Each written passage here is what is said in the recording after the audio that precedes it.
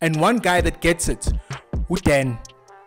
Dan, if he could coach Kaizer Chiefs, I think that team would be would be very different. Um, Kaizer Chiefs plays boring football. Uh, you know.